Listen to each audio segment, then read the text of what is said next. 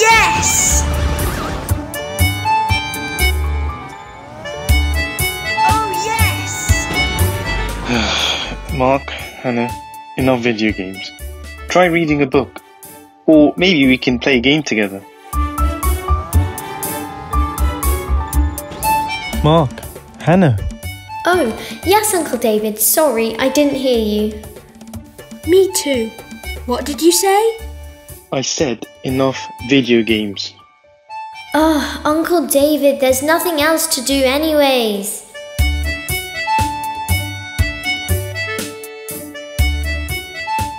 I know what we're doing. Kids, get dressed and get in the car in two minutes. Wait, but I was about to win. Let's be honest. No, you weren't. Now, come on, quick.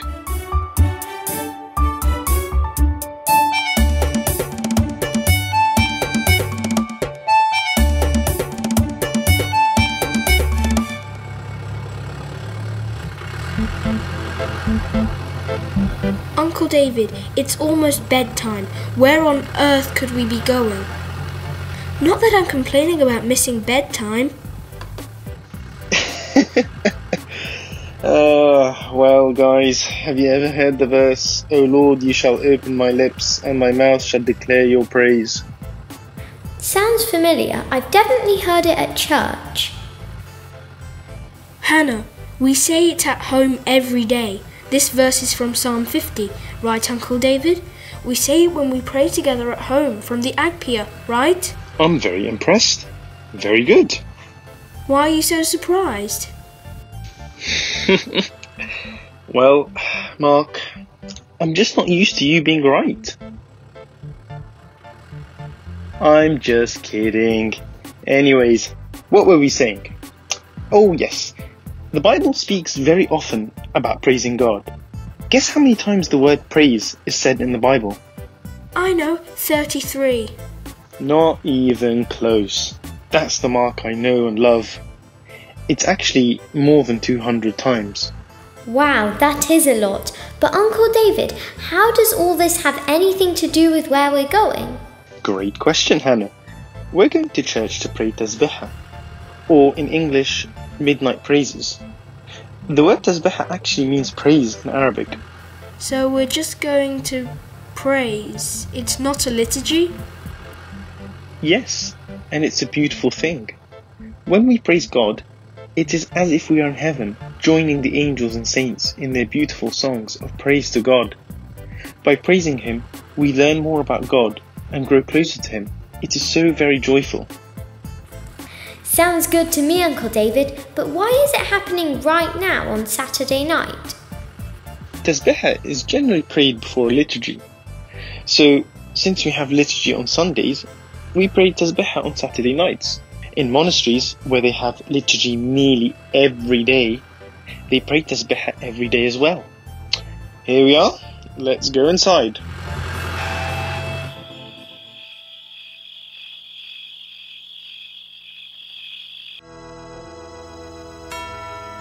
mina lelóiazok szabadri ke éjjel ke a gögne mati kelin kai ke ez dosi ona soni onan ami tne oshe volen golem oshe open try seasons berestos Mark, Uncle David said in Tasbeha, it's as if we're praising with saints and angels. Maybe we'll be able to see some of them with the magic glasses. Please tell me you brought them. You think so? Of course I brought them. Here, let's try.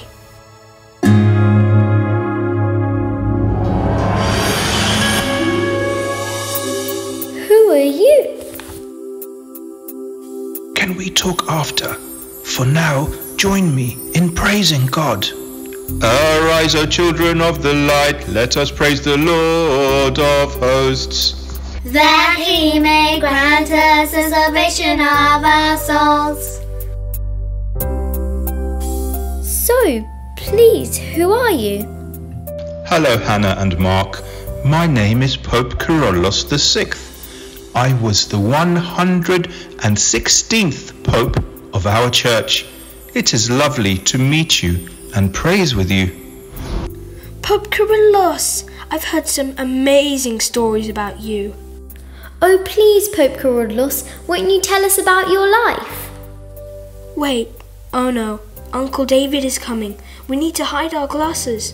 Pope Kyrillos, where can we meet you to hear your story? Well, you can always find me at Tasbeha, but I can also tell you my story at my windmill where I spent many years of my life. I'll see you soon.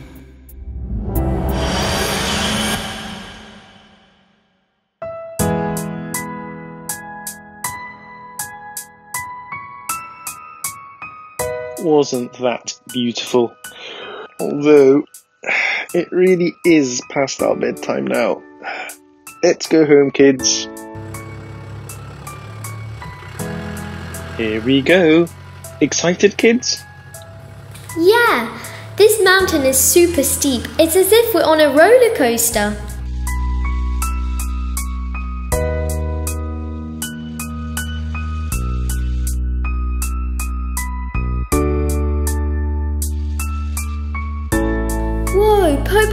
Kyrillos lived here?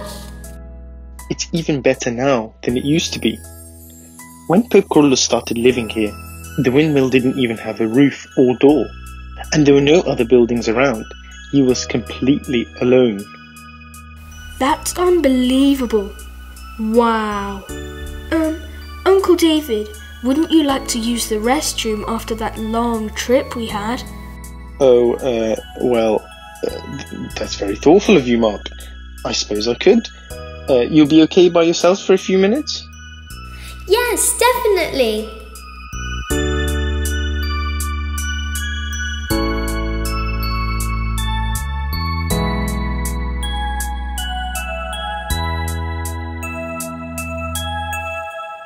Here, quickly, we don't have much time.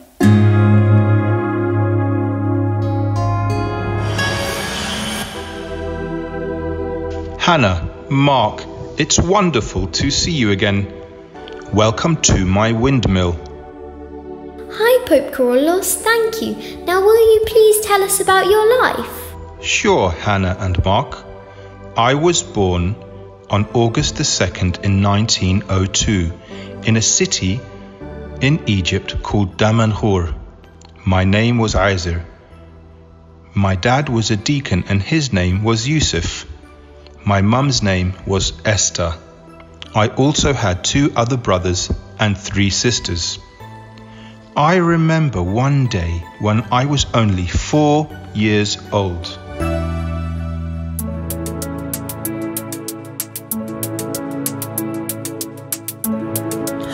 أبونا تدرس البراموسي What a great blessing! Thank you very much for visiting us. We're so happy to have you. Hello, Yusuf and Esther. Hello, Azar. Oh, I miss you so much, Abuna Tadros. Come here, Hazar. Let Abuna Tadros have some rest. Let him sleep here. He's one of our stock. He's one of us. One of your stock? That's amazing. So, Father Tadros knew that you would become a monk? What did your parents do then? My parents loved me very much. They taught me how to love God and to believe in Him. Why, Mum, do we have to go to the church in Ibiar today? It's a five and a half hour walk. Because today we celebrate the feast of someone special. Someone who you really love. Is it St. Mina's feast? Well done! Yes, it is. Come on, let's go. A five hour walk. Wow, how old were you at that time?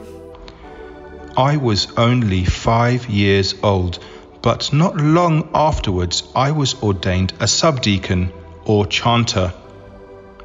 Did you ever fast when you were little? Of course, Mark, fasting helps us to grow closer to God. In fact, one day, when I came home from school, I saw that my mother had cooked all kinds of delicious dishes on the day before Lent. Wow, Mum, what's all this incredible food? Azar, tomorrow we start fasting for Lent. I want you to enjoy a special meal before we stop eating these things for a while. Wow, Mum. Thanks. But how can we eat all this great food when some of our neighbours have so little? Please, Mum, can we give our food to them? You gave the amazing food your mum made away right before Lent. What a fantastic story. What happened next? My mum passed away when I was 10 years old, but she gave me the icon of Saint Mina, my intercessor and my friend. After my mum went to heaven, I finished school successfully and got a job in a shipping company in Alexandria. But I eventually quit my job and went to the monastery of El Baramus.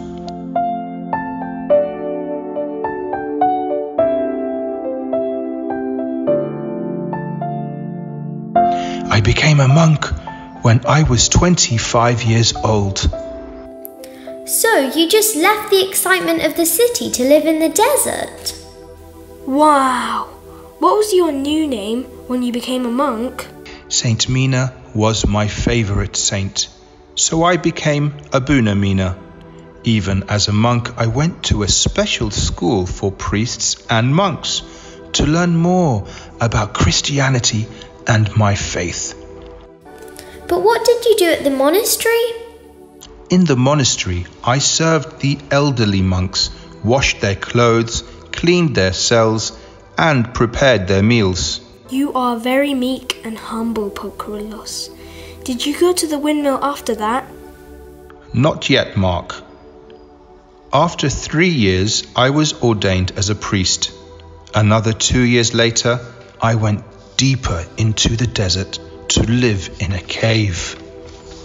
You lived in the desert, alone. That must have been difficult.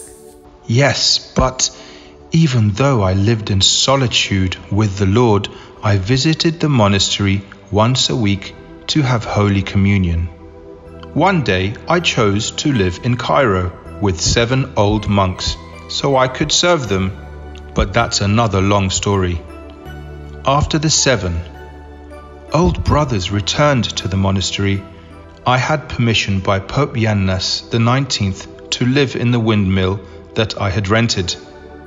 This windmill? Unbelievable! So cool. Yes, Mark, the windmill first didn't have any roof or door. However, while there were many challenges, the Lord took care of me and I loved my life of praise and prayer with God. But this place is deserted. There is no food or water. How did you make Orban? I remember. There used to be a guard who brought water to me in the windmill, but once he didn't come on time, I needed the water for making Orban before the liturgy, so I prayed before St. Mina's icon. It was midnight, and suddenly. Ahmed the Sayyid, are you sleeping? Father Mina is waiting for the water to do the Orban. Go quickly and never do it again. I, I, I, I, I'm sorry. I, I will never do this again. This is double the amount of water. Sorry, I, I, I'll, I will never, ever, ever, never do this again. wow, Saint Mina never left you. How did God protect you, Pope Kyrillos? Once, when I was praying, there were robbers who came to the windmill. They attacked me, hurt me, and left me wounded. But as soon as I crawled to St. Mina's icon and touched it, the bleeding stopped immediately and I was healed. Totally amazing. Did you love your life at the windmill, even with all this hardship? Yes, Mark, very much. I found real joy in the time with God, praying Tasbeha and the liturgy every day. Tasbeha? You used to pray Tasbeha at the windmill? I used to wake up at 2 a.m. to sing midnight praises.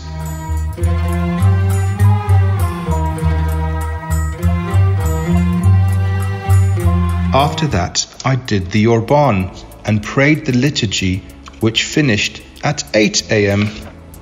So, why did you ever want to become the Pope? I never wanted to be the Pope. But one day, I had a dream. A A dream? What was it about? In the dream, I saw Pope Yannas, the Pope at the time, climbing a mountain. He was exhausted and extremely tired. All of a sudden, his papacy staff was broken and he began to call out to me. Abu Mina! Ya Abuna Mina! Yes, Your Holiness. Look! The papacy stick is broken! Don't worry, Your Holiness. Give it to me. I will fix it for you. Here you are, Your Holiness Pope Yannas. I fixed it for you. No. I am giving it to you. So this dream showed you that you would become the Pope? And then you really were ordained as the Pope? Yes, Hannah and Mark, exactly. So, being the Pope meant you didn't have time to pray as much? Oh no, I still spent so much of my days in Tasbeha and the liturgy.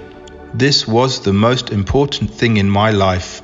It allowed me to stay close to God and make good decisions as the Pope of the Church. Without prayer, I wouldn't have been able to know God's will for me and obey it. Every good thing that happened in my life was a result of God's love and grace, all the way until I passed away in 1971 at the age of 68. Did you enjoy my story? Yes, Pope Kyrillos, it was absolutely incredible. Full of many adventures, too. Thank you very much, Pope Kyrillos. We really loved your story. We'll see you at Tasbeha.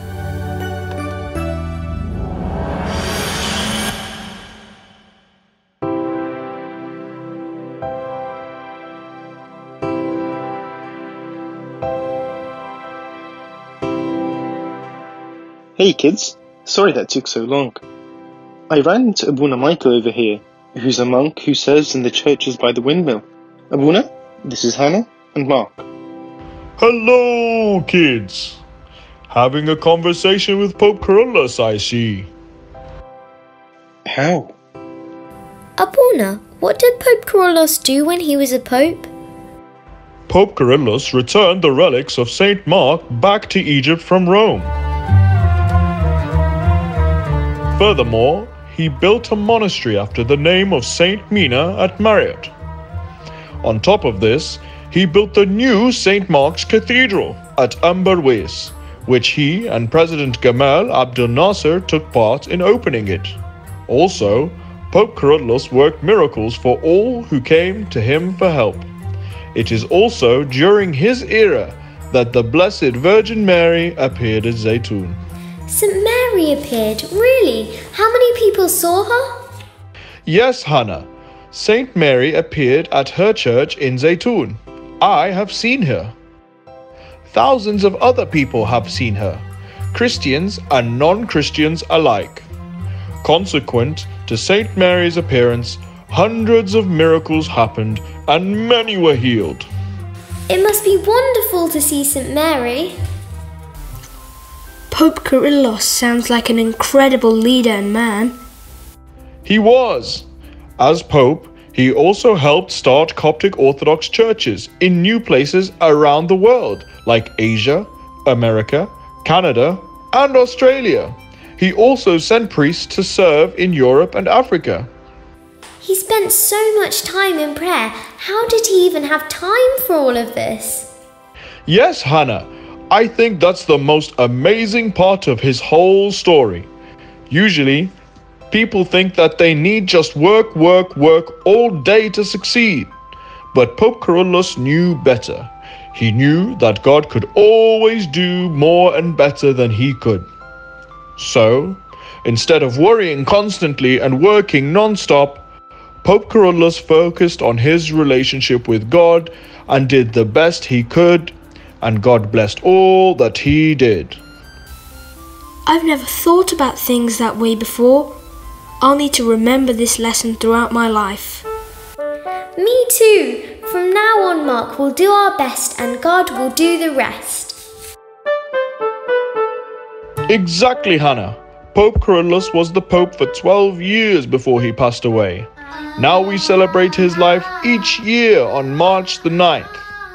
I need to go now, but I'll leave you with one last quote from Pope Kyrillos. So listen carefully. There are no good days and bad days. There are only days with prayer and days without prayer. Hannah and Mark, always remember to spend time with God so that your life can be as beautiful and as fruitful as Pope Kyrillos is. Meeting with you. Goodbye.